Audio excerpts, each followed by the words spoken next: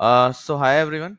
Today we'll be discussing about a certain uh, image pre-processing steps that include changing the brightness, changing uh, the contrast, changing sharpness of the image, binarizing the image, and their respective code on how to uh, change uh, these attributes of an image in Python using the OpenCV library. So let's get started. So first of all, we'll try to understand the code for changing the brightness of an image. So using CV, uh, we will be first importing the CV2 library that is OpenCV library uh, path is basically the image to which we wish to change the brightness. And beta is the factor by which we wish to change the brightness. Here you can see beta is in range of 0 to 100 and the tested beta values that we are going is 10 20 30 for, uh, till 100 right? So in, at intervals of 10 so using cv2 dot uh, convert scale abs we can convert the brightness of an image. Change the brightness of an image. Now coming to contrast of changing the contrast of an image uh, similar to brightness, the contrast of the image can also be changed using the same function that is cv2 dot convert scale abs. Uh, but in if you remember in case of brightness, you are using a uh, hyperparameter beta. In case of contrast, we are using a parameter called as alpha. Now alpha, the value of alpha can range from 0 to 3, right?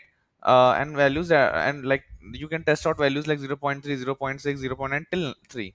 So using this particular code snippet, you can change the contrast of an image median filter median filter is basically used to remove salt and paper noise. So you would might you might at times see uh, dotted error dotted noise present in your images right? So to remove that um, uh, uh, noise elements we can use a median filter. So median filter can be uh, changed using uh, median filter can be applied on an image using cv2 dot median blur function which intakes in the image alongside the kernel size. Now the kernel size can be odd numbered like 1 cross 1 3 cross 3 5 cross 5 which gets convoluted over the image to remove salt and paper noise.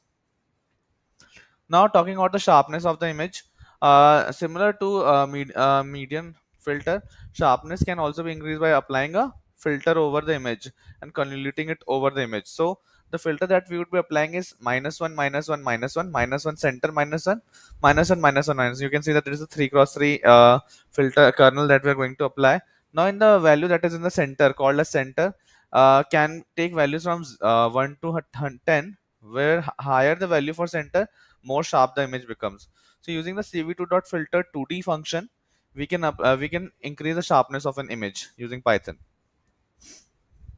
Otsu binarization so Otsu binarization basically is a technique of binarizing your image. So uh, either uh, 0 or 1 so in that case that can be done using set using cv2.threshold function uh, where you're telling where you're passing an argument as image.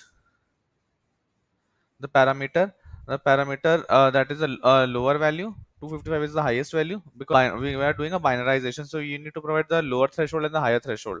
So that once if the parameter goes below the threshold it goes to the param value else it goes to 255 comma the two values that we are considering that is thresh uh, cv2.thresh underscore binary plus cv2.thresh Otsu so using this you can uh, Otsu binarize your image as well now histogram equalization, it is also used for adjusting the contrast so it does not require any sort of parameters so it can be directly implemented using cv2 dot equalize hist function.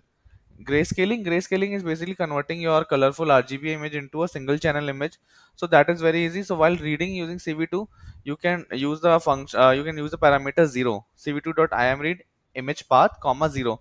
This will help you to read just the first channel of the image and that is the grayscale version of the image.